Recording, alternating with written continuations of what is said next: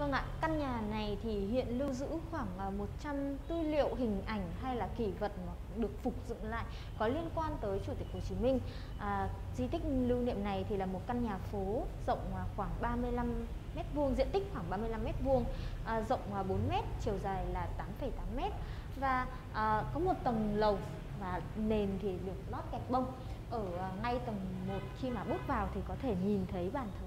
và cũng như là các cái hình ảnh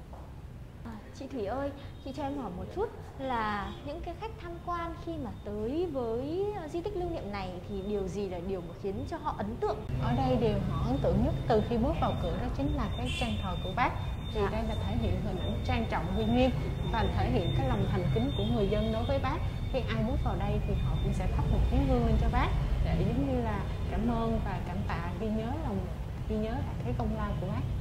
Vâng, à, cách bài trí của cái căn nhà này thì có cái ý nghĩa gì hả chị nhỉ? Ừ, cách bài trí ở đây á, thì hình ảnh bên này là hình ảnh về gia đình tướng thân phụ mẫu và những người nhà nho yêu nước, những người mà bác từng khâm phục.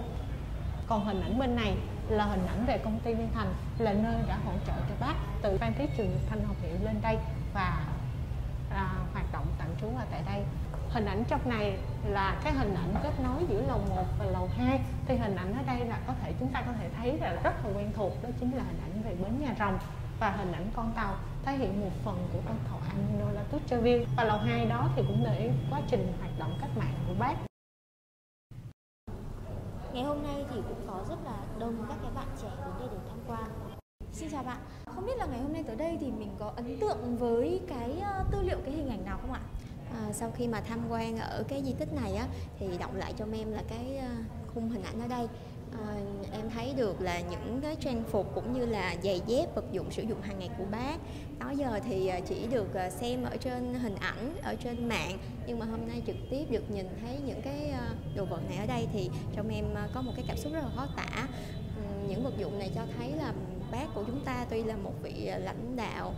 của một đất nước nhưng mà người lại rất là giản dị trong cuộc sống hàng ngày à, điều này thì giúp cho các bạn thanh niên như em á càng muốn học hỏi bác ở điều này là mình sống thật là giản dị dạ. Xin cảm ơn bạn. À, với sự hỗ trợ của công nghệ thì à, ngày nay ờ, hiện nay thì tại Ờ, số 5 Châu Văn Liêm này không chỉ là những cái tư liệu những cái hình ảnh đã được phục dựng lại mà có cả à, những ờ, chiếc à, máy được tích hợp công nghệ trong việc hỗ trợ giới thiệu về di tích cũng như lịch sử của bác. À, với sự hỗ trợ của công nghệ cũng như là sự hướng dẫn của các cán bộ quản lý thì những câu chuyện được kể thông qua các tài liệu, những tấm ảnh, à, những kỷ vật à, được phục dựng này thì đã khiến cho những du khách được sống lại một thời kỳ lịch sử đầy khó khăn nhưng vô cùng hào hùng. Đặc biệt là được chứng kiến ý chí, sự nhiệt huyết và quyết tâm cách mạng của Chủ tịch Hồ Chí Minh khi đó là thanh niên nồng nàn yêu nước Nguyễn Ái Quốc quyết lòng ra đi để tìm đường cứu nước, cứu cả dân tộc đang lầm than.